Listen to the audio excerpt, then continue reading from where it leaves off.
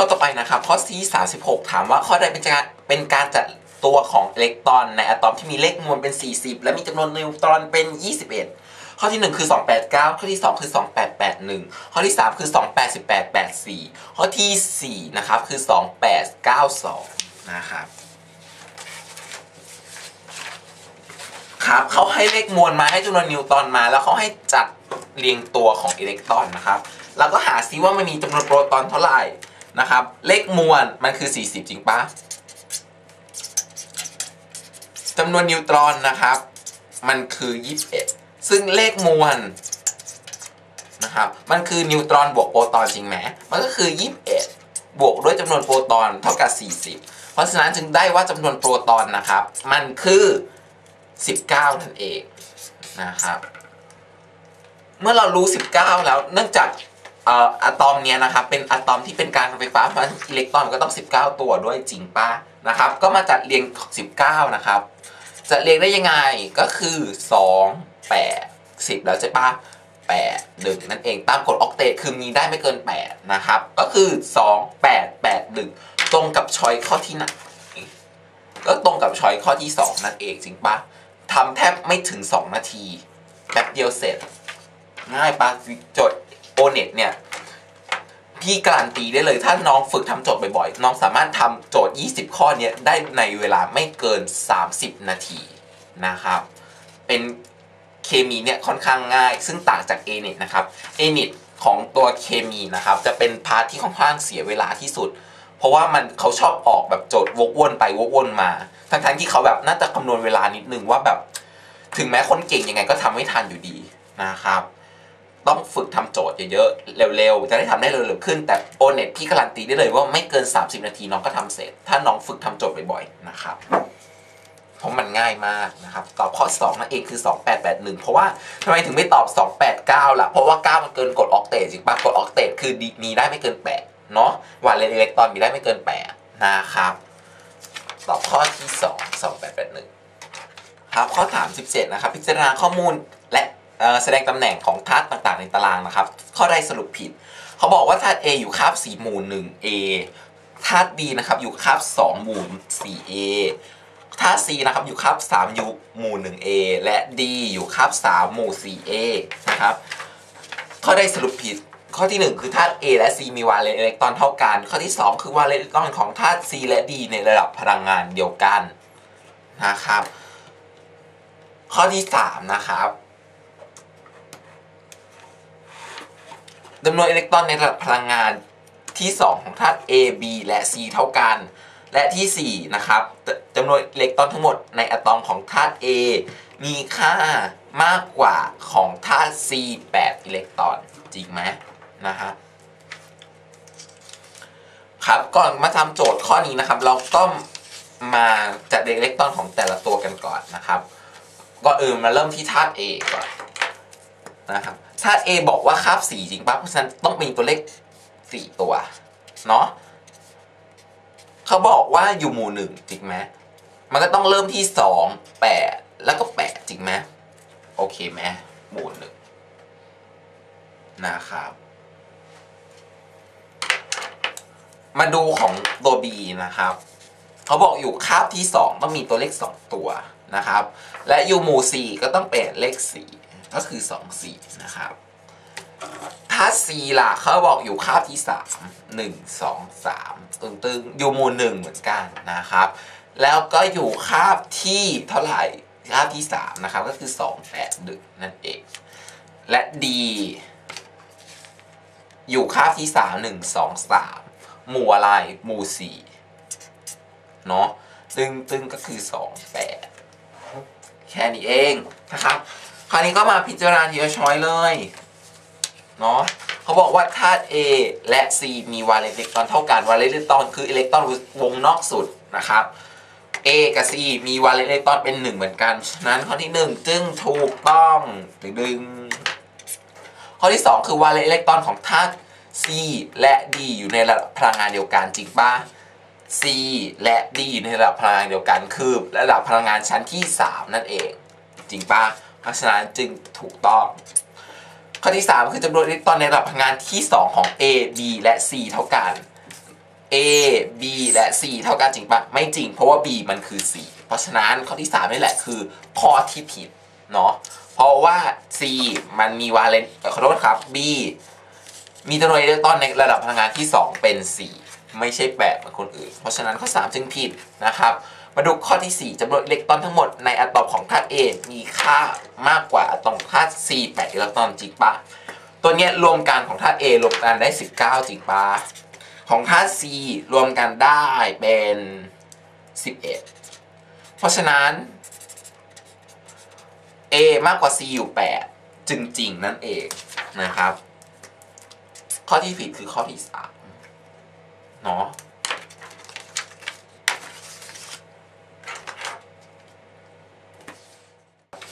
ข้อที่ 38 นะครับ พิจารณาข้อมูลต่อไปนี้ คือธาตุ A มีเลขอะตอมเป็น 11ธาตุ B มีเลขอะตอมเป็น 18ธาตุ C มีเลขอะตอมเป็น 31 และธาตุ E มีเลขอะตอมเป็น 38 นะครับ โจทย์ถามว่าข้อใดถูกต้อง ข้อที่ 1 คือ A และ D เป็นอยู่หมู่เดียวกัน ข้อที่ 2 คือ D มีวาเลนอิเล็กตรอนสูงสุดนะครับ ข้อที่ 3 นะครับ B เป็นอะตอมเดี่ยวอย่างอิสระได้นะครับ ข้อที่ 4 คือ C และ D อยู่ในคาบเดียวกัน การที่เราจะรู้ว่าข้อใดถูกได้เราต้องทำยังไงก่อน จัดเรียงอิเล็กตรอนนะครับ ก็ง่ายมากเลยมาดูธาตุ A ธาตุ A จัดเรียงอิเล็กตรอนได้เป็นอะไรได้เป็น 2 8 1 จริงไหมธาตุ B ได้ออกมาเป็น 2 8 8 นะครับธาตุ C นะครับเป็น 2 8 นะครับ 18 3ธาตุ D นะฮะเป็น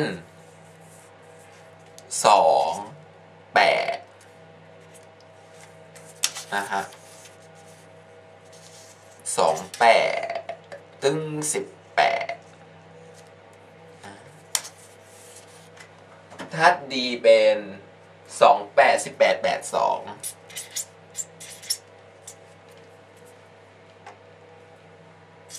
นะครับ เมื่อจะเรียงอิเล็กตรอนเสร็จปุ๊บเราก็สามารถมาพิจารณาแต่ละข้อเลยเขาบอกว่าข้อที่หนึ่ง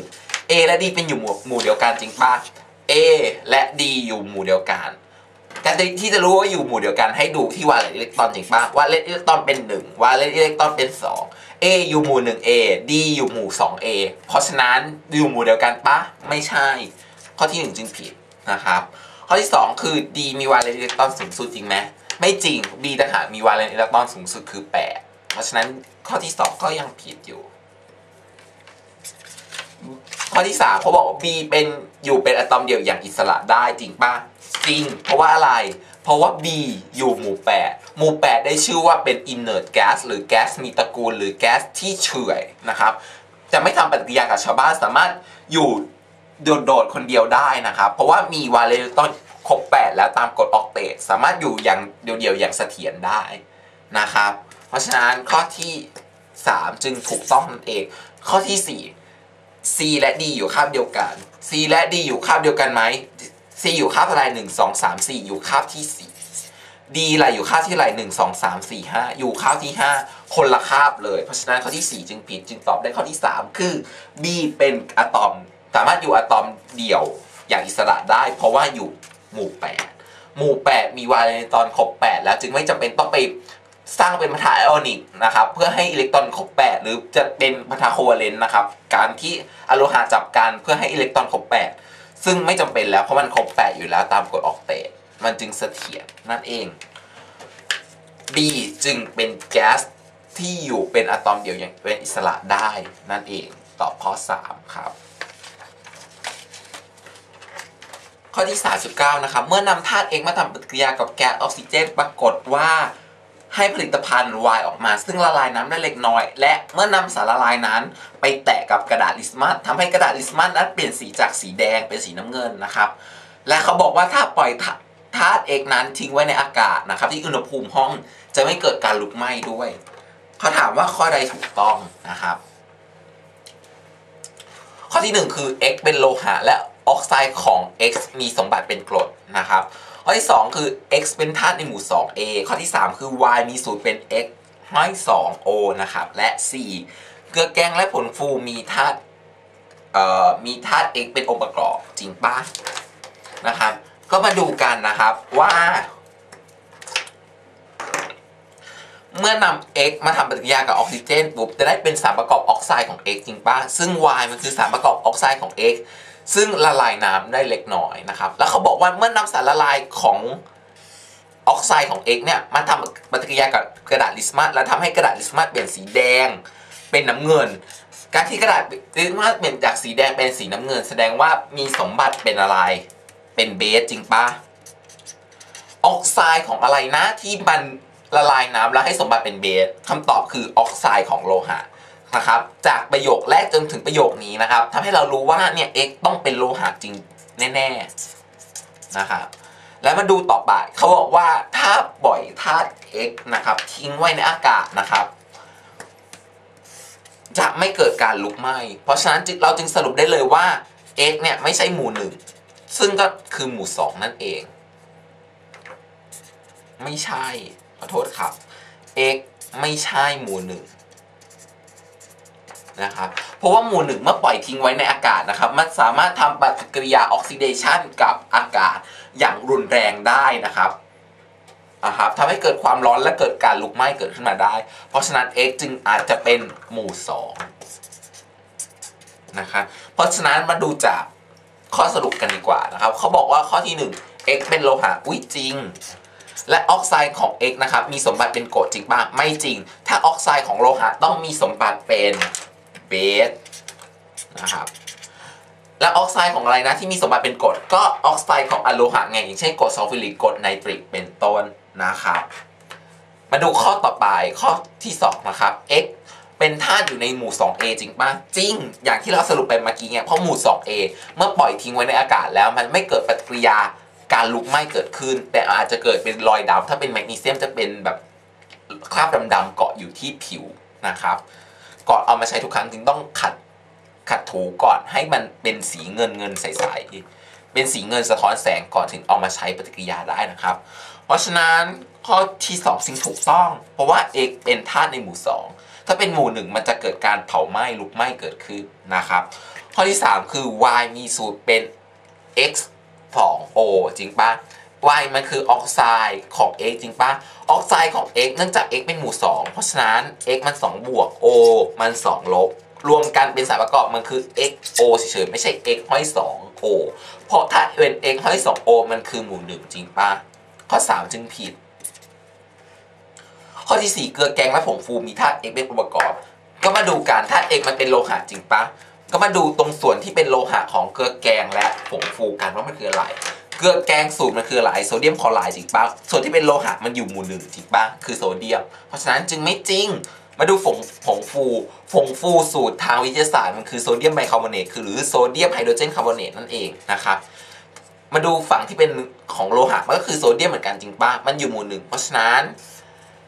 มีธาตุ A เป็นองค์ประกอบจึงผิดอีกเช่นกัน จึงตอบได้แค่ข้อเดียวคือข้อที่ 2 คือ x เป็นธาตุอยู่ในหมู่ 2a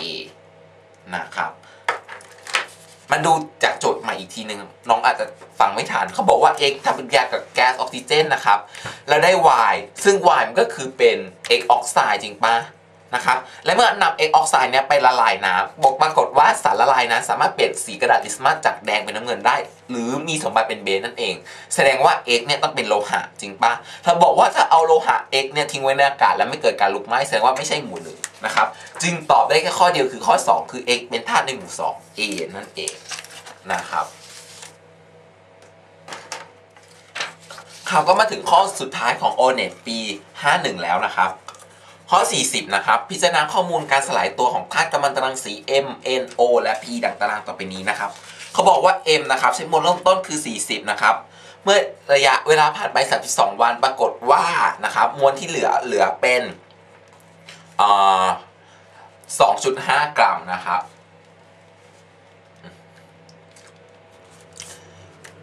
ธาตุเอ็นนะครับมวลเริ่มต้นคือ 30 กรัมนะครับ เมื่อระยะเวลาปล่อยไป3ไอ้60 วันนะครับ มวลที่เหลือเป็น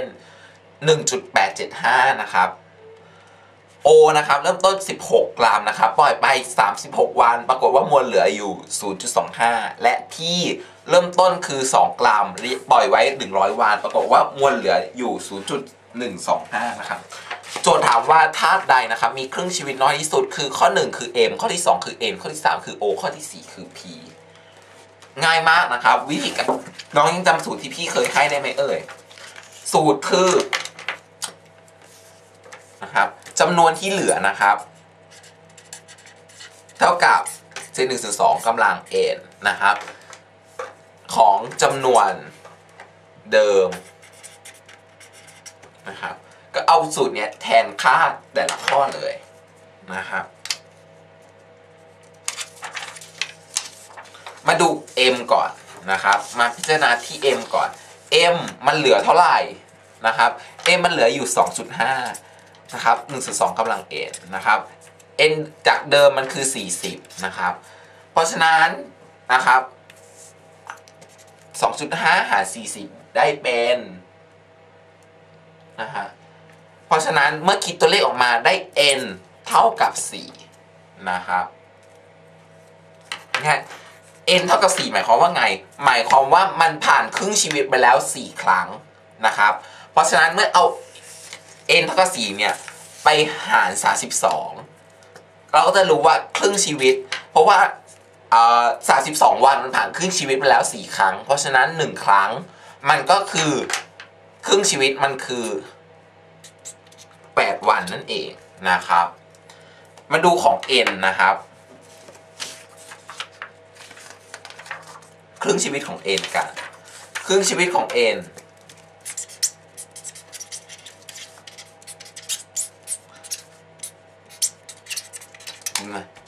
เหลือเท่าไหร่ เหลือ 1.875จริงปะ1ส่วน2กำลัง n n เดิมคือ 30 คิดตัวเลขออกมาได้ n ออกมามีค่าเท่ากับ 4 เหมือนกัน n เท่ากับ4แสดงว่าผ่านครึ่งชีวิตแล้วขอโทษครับ n เท่ากับ4แสดงว่าผ่านครึ่งชีวิตไปแล้ว 4 ครั้งจริงป้ะเพราะฉะนั้นครึ่งชีวิตหนึ่ง4 ครั้งมันใช้เวลา 60 วัน เพราะฉะนั้น 1 ครึ่งชีวิตมันก็คือ 15วันนั่นเอง จริงปะมาดูของ O กันนะครับ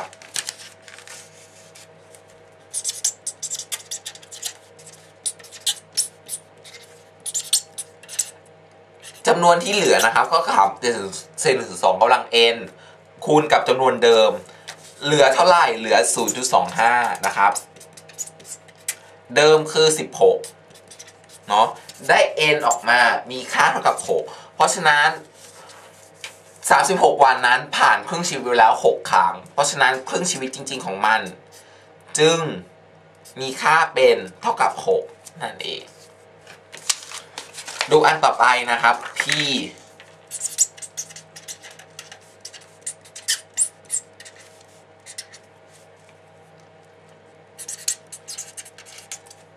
n ที่เหลือคือเท่าไหร่ 0.125 นะครับ n เดิมคือ 2 นะครับ เราก็หา n เล็กออกมา มีค่าเท่ากับ 6 นะครับ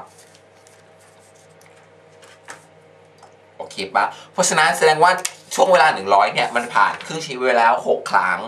เพราะฉะนั้นครึ่งชีวิตครั้งหนึ่งมันมีค่าเป็น เอา 100 หาร 6 ได้เป็น 16.67 เพราะฉะนั้นโจทย์ถามว่าข้อใดนะที่มีครึ่งชีวิตน้อยที่สุดเขาถามว่าโจทย์ข้อใดมีถ้าใดมีครึ่งชีวิตน้อยที่สุดนะครับ มันก็คือธาตุโอจริงปะครึ่งชีวิตน้อยที่สุดเนาะธาตุโอมีครึ่งชีวิตน้อยที่สุด ถ้าโจทย์ถามว่าข้อใดมีครึ่งชีวิต มากที่สุด จึงค่อยตอบข้อ P นั่นเอง อันนี้ O คือน้อยที่สุดจริงไหมเพราะมันใช้เวลาแค่ 6 วันนะครับ ส่วน P ใช้เวลาเป็น 16.67 วัน จึงมีครึ่งชีวิตมากที่สุดนะครับโจทย์ถามน้อยที่สุดจึงตอบข้อที่ 3 คือ O นั่นเอง เพราะมีครึ่งชีวิตอยู่แค่ 6 วันเท่านั้นนะครับ o n e t V51 ก็จบลงเพียงเท่านี้นะครับ